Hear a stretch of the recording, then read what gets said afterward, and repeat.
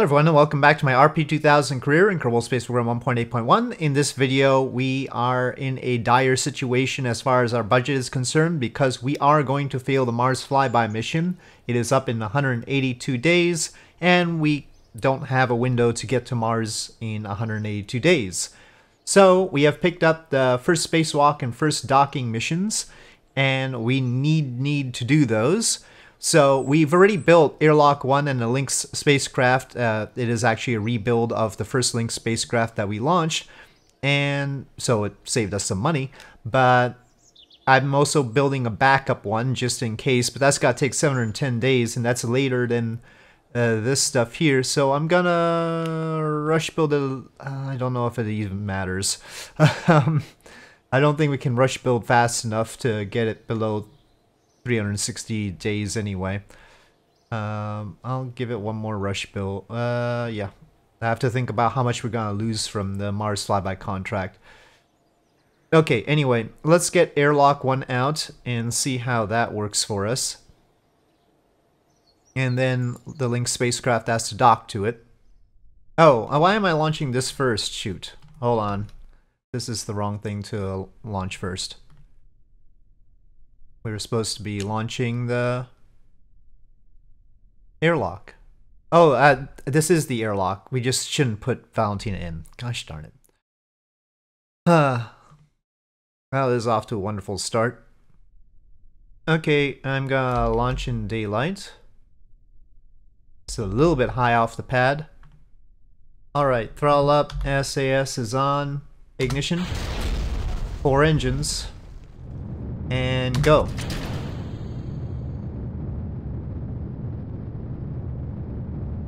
We want to make this easy, so we're going straight out from the Cape. Alright, this rocket has less lag than I'm used to, so... I needed to turn faster, actually. Okay. Everything proceeding nominally so far. We should try and put this a little bit higher up so that's easier to rendezvous. Oh, I was supposed to line... I... I forgot something. I was supposed to line up with that Kerbal. Right. So that we could rescue Milden. Ah... Uh, it's fine. We've got a lot of time for that. And separate and ignite... and separate the fairings and ignite the engines, and two good engines. Milden's rescue, we've got 1,571 days. This is actually OP for this payload, but we didn't really have a rocket in the middle. And I think it's better to get the data units on these engines anyway. And of course, having two engines is a good idea. Alright, we would have to send uh, one of these for Milden because Milden wouldn't be able to get in otherwise. Okay, making orbit We'll allow this to deorbit.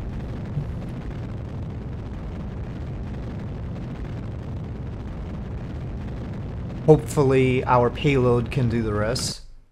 So there it is. Make sure this antenna is out. Alright, and why not that antenna too? You're not charging very well. Hmm. I thought we would have enough, but maybe not. Okay.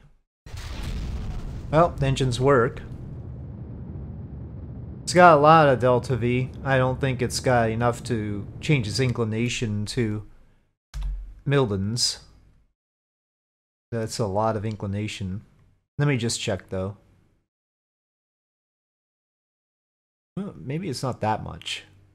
Uh, no, it's more than I thought. Uh, 28 degrees. 3,000-ish. More than that. Okay, anyway. That's neither here nor there. so, yeah, we're not getting the greatest power here. So we should intercept it sooner rather than later. This does have a hibernate and warp function. Let's see. Okay, it'll recharge when it's in warp. So that's fine. Okay, Good times. Those are those engines are a little bit clipped in there. That was for the docking port clearance. Okay, well, uh, while we're here,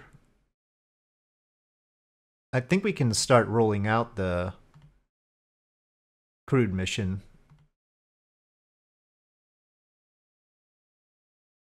Reconditioning. Oh, we have to recondition the launch pad before we roll out.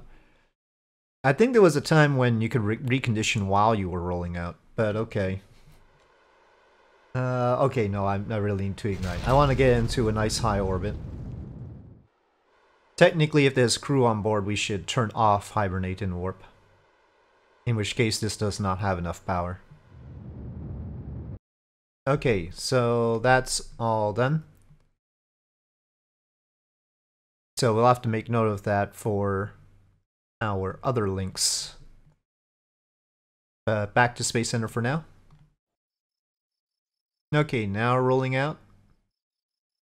Okay, well now we get to put Val in. Maybe we should have two people. Since Val will be doing this. Oh, or uh, we could have an engineer do the spacewalk. So, or a scientist. Let's have Bob do the spacewalk. Okay, we have no probe control for some reason. Vessel is not controllable. This is the same vessel. Why is it not controllable? Oh, it's electric charge, but it doesn't have any built-in... Oh, did we not have electric charge in the Lynx itself? Did I accidentally remove that? Um, it looks like I accidentally removed the electric charge in the Lynx. That's weird. Okay, uh, let's roll back. Oops, wrong thing. So we should edit the other Lynx as well. I don't know, uh...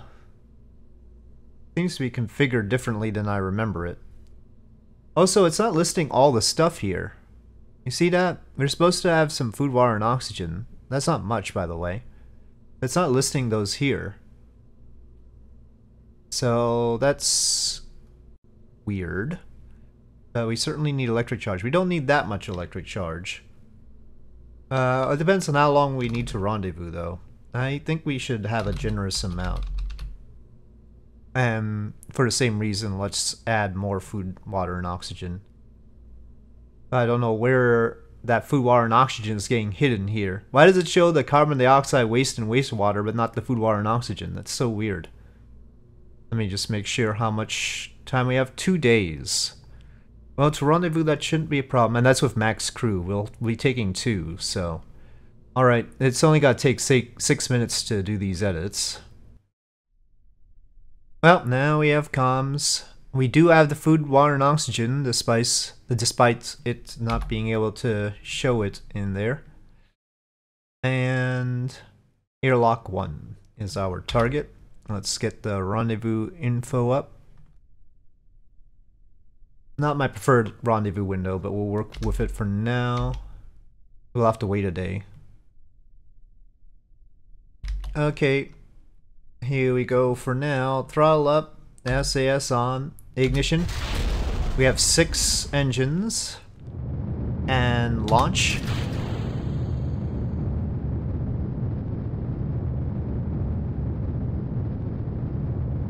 Wow, why is this all misconfigured? Whoa, whoa, whoa. No! Uh-oh, uh-oh, uh-oh. Can we fix this? We can fix it. We can fix it. Why was it set to those numbers? Uh, it should reset between vessels, though. That's very weird. Okay, we had we had a bit of an, an anomaly. Gosh, this series has been a pain. Okay, okay. Yeah, normally when you restart a vessel, the surface stuff is supposed to reset to 90, 90, and 0. I thought. Okay, approaching 4Gs and getting ready for booster set.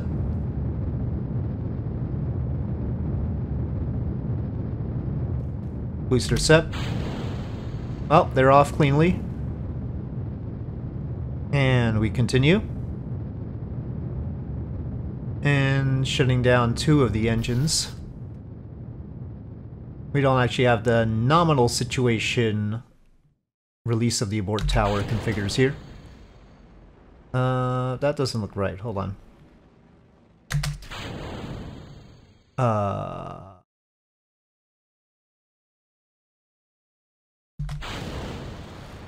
Okay. Bit of a staging issue there. I think we're okay though. I need to compensate for some of that business. I think uh, we actually released the launch escape system but didn't fire the launch escape rockets. This is not gonna hurt our ability to get to orbit, but it's annoying.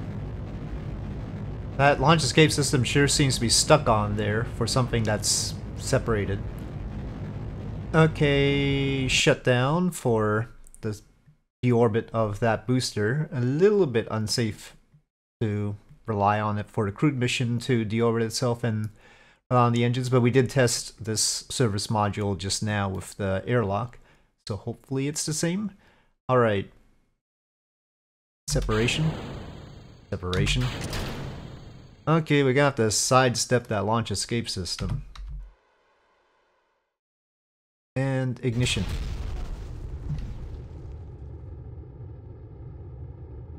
Okay, we want to keep low for the rendezvous, so it's gotta be a while anyway. It's on the opposite side of Earth from us. Should have packed enough electric charge. Okay, on this round we are going to lift our apoapsis to a tangential tangency. Okay, we have that.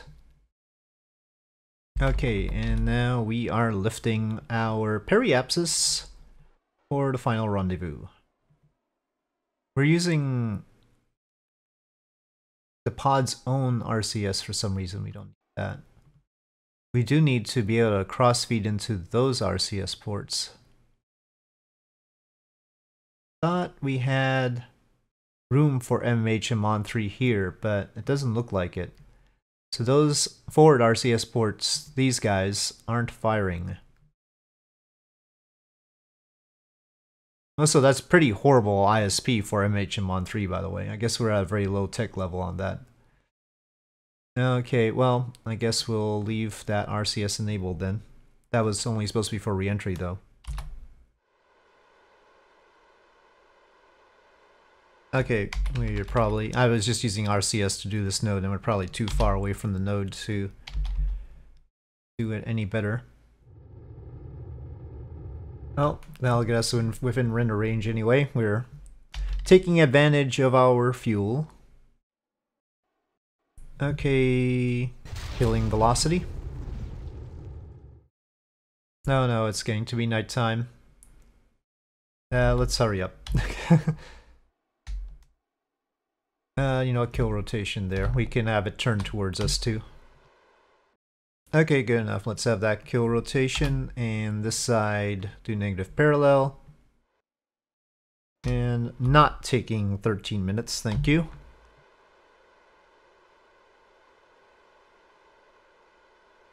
Though we hardly have any light left. Okay, close approach, mere millimeters. Slowing down a bit. Gosh darn it, that messed it all up. Still probably alright.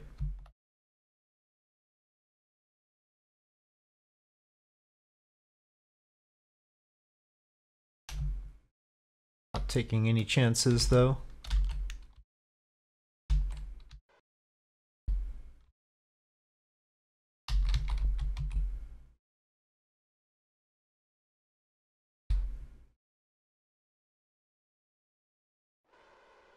Okay, they have met up.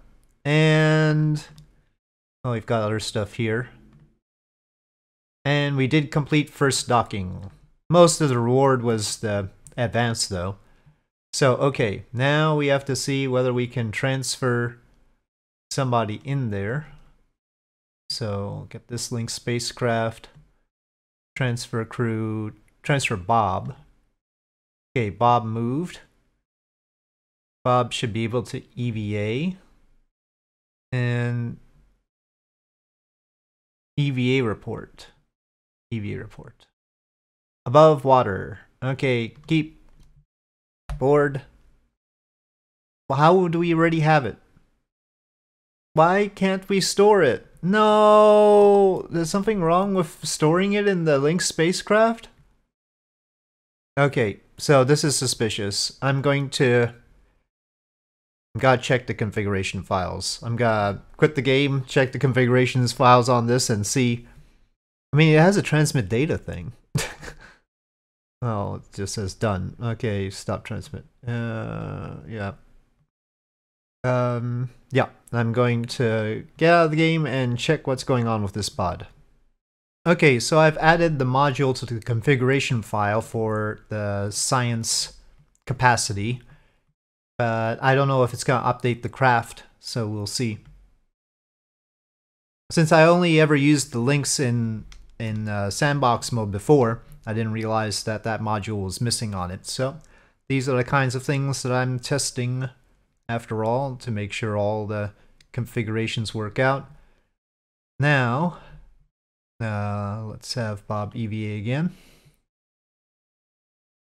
EV report, keep, board. Okay, it says it's added. Okay, so that's fixed now. So there will be an update to crew vessels. It'll be crew vessels 0.2, and that will fix that problem. Uh, we seem to have the ability to transmit, so let's check that transmitting data works. Seems like that worked.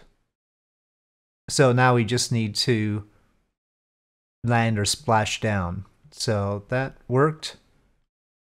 Anything else? Nope. Okay, make sure to transfer. And now we have a crew report thing too. I guess we should collect some science, huh? No, we could do some more. We could do all the EVA stuff. That was over water. I don't need the rendezvous info anymore. It'd be nice to have MechJeb tell me what biome we're over. Nope, tropics.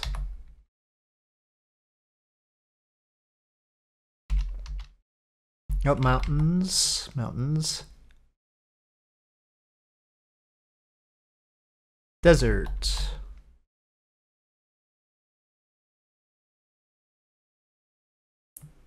Is there gonna be shores somewhere? Shores, uh, can we do it quickly? Yes, we got shores. Always a tough one. Still tropics here. Most of it will be tropics because of our inclination, so Uh, I think that's about it. So we are going to transfer Bob back. Make sure we don't leave without Bob. Um, hey, trying to get click on the pod is a little bit complicated. Lynx Neo, okay, says so. Um, normally I use this here to click on that pod within its aeroshell because the aeroshell collider is completely surrounding it for obvious reasons for protection. So let's see, they're both there. All right. Okay, well, I can't think of any reason not to. So undock.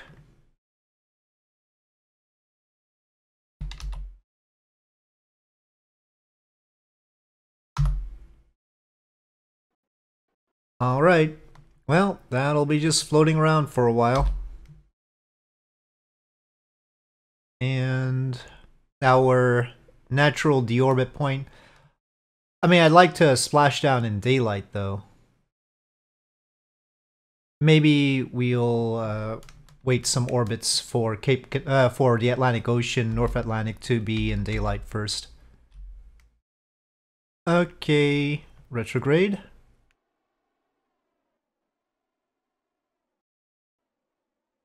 Uh, it doesn't seem like we're pointing at airlock 1, but let's pay attention to that. So I'll get the rendezvous information up. Okay. And retroburn. Well, that should be good enough. And we are not hitting airlock 1. So normal. Okay, getting rid of the service module.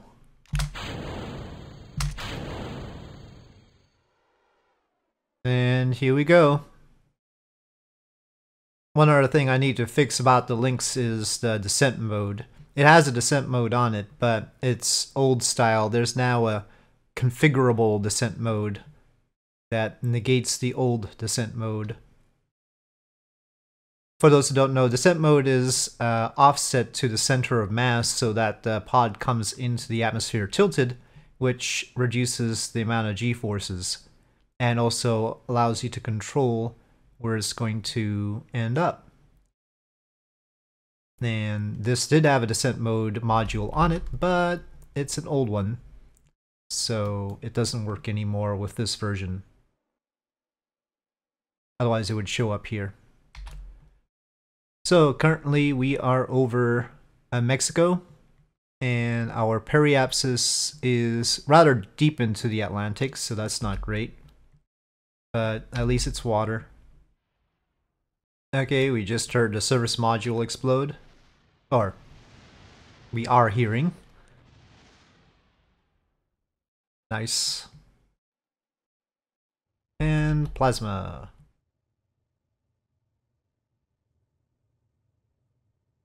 some reason it's very interested in the RCS ports that admittedly do stick out. Oh, uh... Bob Kerman lost consciousness. What G-force did we hit? 7.7? Bob couldn't deal with 7.7 Gs? Man, these scientists, I swear. Well, we're definitely gonna have to get that descent mode fixed, huh? Or we should get more money because Bob Kerman was like a tourist and they liked extra G-forces. Okay, aero cap separation. That worked pretty well. Let's arm these two. Okay, initial parachute deployment. And 4.8 meters per second.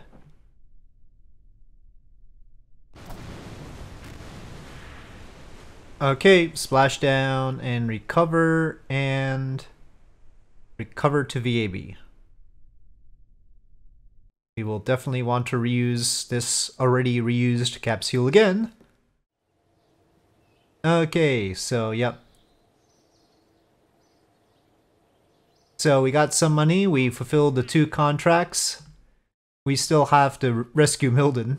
Uh, and then Science Day from the surface of the moon, we should focus on the moon because we need science in order to unlock the better comm dishes and so everything about the moon is good except for this one, which I need to fix because 4,000 units of liquid fuel is not useful. So I'll have to take a look at that. those that pricing isn't even worth my time. Well, there is two signs there. But we have a max of seven contracts, so we better watch it. There's a lot of rescuing going on here. Uh, can they give me another? Well, there's uh, that's a crewed lunar landing. I just want to do a regular lunar. I should have picked up this successful reentry thing, but it's uncrewed though. Maybe we can do a sample return mission from the moon. We'll have to do it at a pretty low price, but that'll fulfill this contract anyway. We're not going to get another probe lunar contract. Are we? I would like one. um, it would be nice. First space station. Why? What? Why haven't we met? Research short-term habitation. Okay. Well, I guess we haven't done that. And advanced flight control. Well, it says any for those. So the only. I wonder why it has it doubled here. So we really need short-term habitation so that we can get this first space station which one of those little pods can basically, well, I think may fulfill. Uh, two years. The fact that the the crewed lunar landing contract only gives us two years is rough. We can't even build the darn thing in two years. Lunar flyby in two years. Well, we'll have to see. I'll I'll try and cook up a vessel and see how long it takes to build and how how much cost it is. But we have to remember that the Mars flyby mission is going to fail in 153 days. So we're not going to have a whole lot of money. That's why I'm looking at probe con uh, contracts because those will be cheaper to do. But maybe what we really need to do is these satellite contracts. Um, this one is nice. Position a satellite in a specific orbit of the moon. And then there's this one. These are worthwhile. They give a long time frame too. Wonder why all the crew stuff has to be so quick. Alright, we will pick up that moon contract, that moon contract, and this, uh, we'll wait on this until I build, uh, at least mock it up in the VAB to see. This equatorial one doesn't seem to pay enough. There's these station, build a new orbital, so there's this orbital station contract. But we'll need to support five Kerbals. Right now our Lynx pod only supports three. We could put two of them together, I suppose. We aren't really generating enough power. We need better solar panels. Build new orbital station in solar orbit. Well, at least they pay a lot for that, but I wish the liquid fuel thing was gone. I'll have to take a look at where that contract is to see if I can get rid of that. At least it isn't all tourism contracts now. Uh, yeah, I mean, they're not paying us enough to have a facility that supports five Kerbals. That's not enough money to build that. So, might need to fix that too. Okay, uh, yeah. Satellite in orbit of the moon. Two of them. These aren't really compatible orbits, I don't think. So it's tough to get from one to the other. So we'll send two things to the moon in order to fulfill those two. And then maybe a sample return mission. And then a crewed lunar flyby if we can get it built in time. Okay, but right now we're at our limit for contracts. So with that, I'll say thank you for watching. I hope you enjoyed this video. If you did, please do press like. If you have any comments or suggestions, please leave them in the comment section below. And I'll see you next time.